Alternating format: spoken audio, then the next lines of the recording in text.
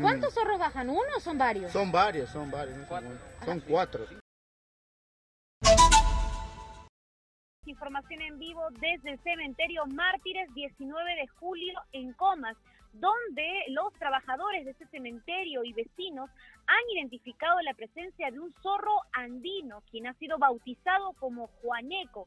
Sin embargo, según nos informan también personal del cementerio, no se trataría de un zorro, sino de varios zorros que están rondando los nichos de este cementerio en búsqueda de alimento. Escuchemos. Entonces yo para cortar camino, para llegar más rápido, siempre cruzo el cerro, voy bajando por el cerro, entonces en un transcurso he salido a las 5 y cuarto de la mañana, he estado bajando como siempre, y cuando yo escuchaba así ruido entre piedritas que sonaba, entonces no le tomaba tanto interés. Y después ya más o menos antes de llegar al cementerio ya estaba ya este, aclareciendo, en ese en ese transcurso veo, yo pensaba que era un perrito al principio, pero después se fue a acercar. Sí, está bajando, pe, pero no a estas horas todavía no, pe. ¿Cuántos zorros bajan? ¿Uno o son varios? Son varios, son varios. no son uno. Son cuatro.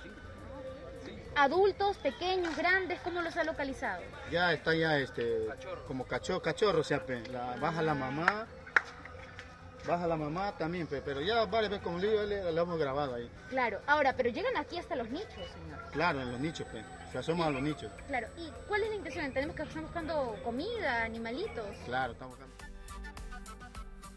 Bueno, Serfor ya se encuentra rastreando las huellas de Juaneco en comas.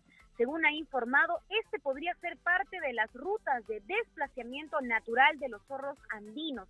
Asimismo, según la evidencia que han recogido hasta el momento, es un animal que no ha tenido contacto con el ser humano.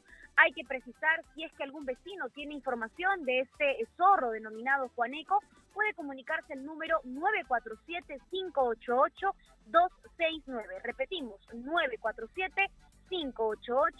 947-588-269. Con este número se podrán comunicar directamente con los especialistas de Serfor para atender esta situación que ya viene haciéndose seguimiento desde hace unos días. Información en vivo para Exitoso en Lima 95.5.